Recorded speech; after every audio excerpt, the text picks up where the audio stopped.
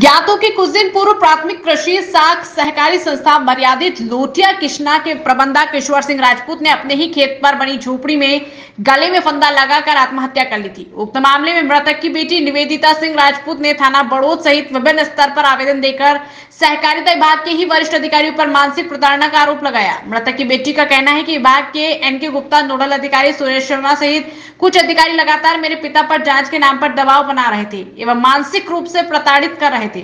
अधिकारी से प्रताड़ित होकर ही मेरे पिताजी द्वारा आत्महत्या का कदम उठाया गया है। आवेदन में बताना इससे संबंधित कई मामलों का उल्लेख किया गया है। बेटी ने आवेदन देकर लगाई है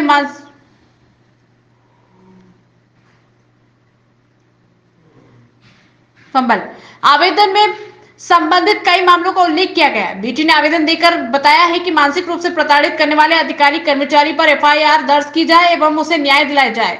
इस मामले में जाँच अधिकारी द्वारा बताया गया कि हमारे द्वारा हर एंगल से जाँच की जा रही है। आज जो आवेदन प्राप्त हुआ इसकी भी बारीकी से जाँच की जाएगी।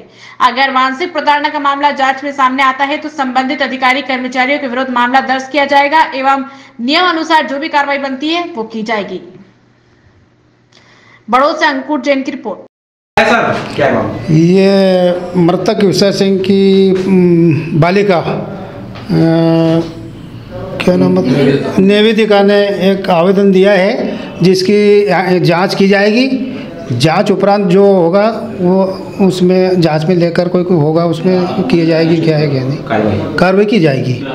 किस मामले को लेकर आज थाना बड़ौद में आपने आवेदन दिया है? मैंने मेरे पिताजी श्री ईश्वर सिंह जी राजपूत के आत्महत्या केस के ऊपर आवेदन प्रस्तुत किया गया है और उन्हें बार बार बैंक द्वारा प्रताड़ित किया गया था। नोडल अधिकारियों द्वारा जाँच के बाद भी उन्हें पता प्रताड़ित कर रहे थे और पैसे की मांग की जा रही थी। आपका आरोप है कि उन्होंने मानसिक प्रताड़ना के कारण आत्महत्या हाँ उन्हें मानसिक रूप से प्रताड़ित किया गया। आपको किन लोगों पर शक है मुझे नोडल अधिकारी नरेंद्र गुप्ता और सुरेश जोशी और सुरेश शर्मा जी के ऊपर वो है चक है मुझे।